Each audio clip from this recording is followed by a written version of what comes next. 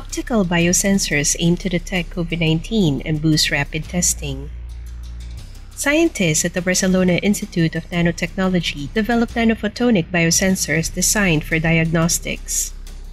These biosensors aim to detect COVID 19 and other respiratory viral infections. The biosensors only require a saliva sample to identify the presence of viruses. Laura Lechuga, the study's lead author at Catalan Institute of Nanoscience and Nanotechnology, said, You put it in, wait a few minutes, and the device will tell us whether you are infected or not, and the value of the viral load you have. While there is a highly accurate test for COVID 19, it is invasive and takes time to produce results. So, augmenting point of care diagnostics in areas without molecular labs is important. For scientists, the biosensors are fine candidates. The devices can measure different characteristics of a sample, such as antibodies, enzymes, and proteins. These are measured via optical properties of samples exposed to light.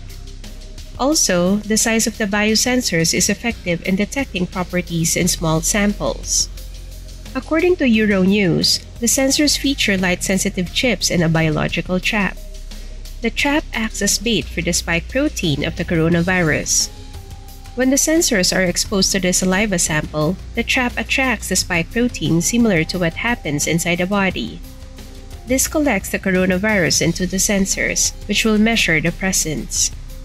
Light beams inserted into the chip determine both the presence and quantity of the coronavirus in a single sample. Because the sensors have been prepared, there is no need for specialized labs or instruments to conduct rapid testing. There is also no need for specialized training to use the sensors. Compared to other COVID 19 tests, biosensors have notable advantages. First, the simplicity of biosensors removes a critical process in PCR tests. This is the amplification process to highlight the levels of SARS CoV 2 in a sample. It helps specialized equipment to accurately detect the coronavirus, Second, biosensors can perform diagnostics without labels. ELISA and RIA are tests that specifically look for labels like antigens or antibodies. By using attributes, biosensors can provide straightforward results if molecules connect to the attributes. And third, proper modification of sensing channels within chips can enable the detection of multiple targets. The optical nanophotonic biosensors are a part of the Co-NVAT project. It is a two-year project supported by specialized centers in France, Italy, and Spain.